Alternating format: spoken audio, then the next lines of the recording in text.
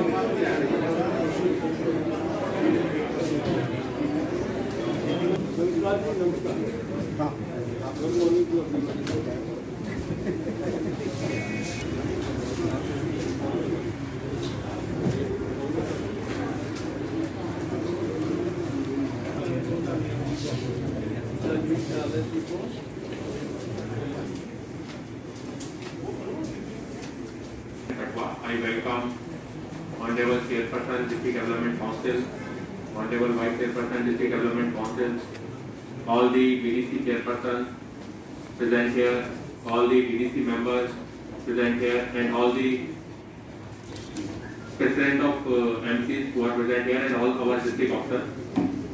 The purpose of our today regarding the district plan of formation and implementation.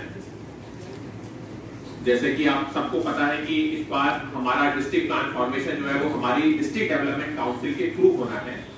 और आप सब लोगों ने मिलकर ही हमारा डिस्ट्रिक्ट डेवलपमेंट प्लान जो है वो बनाना है। तो इसमें काफ़ी तब्दीलियाँ भी इस बार गवर्नमेंट की तरफ़ से। के ऊपर हम थोड़ा सा आज एक देखा जाए तो आज इस तरह से गवर्नमेंट की आगे भी डायरेक्शन आती रहेगी, उसको भी हम आपको आपसे जो है डिस्कस करते रहेंगे।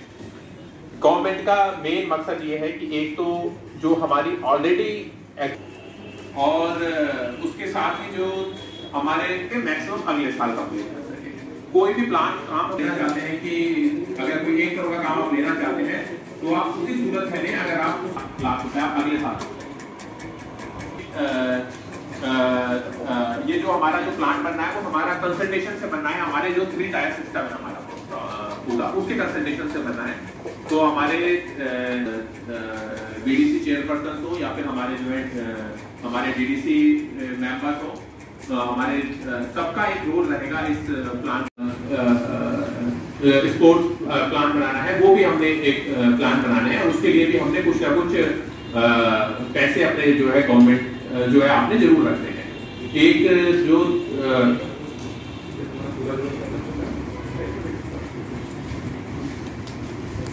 करोड़ का था। इस बार हमारा टोटल प्लान साइज़ जो है वो करीब छह सौ बीस करोड़ है।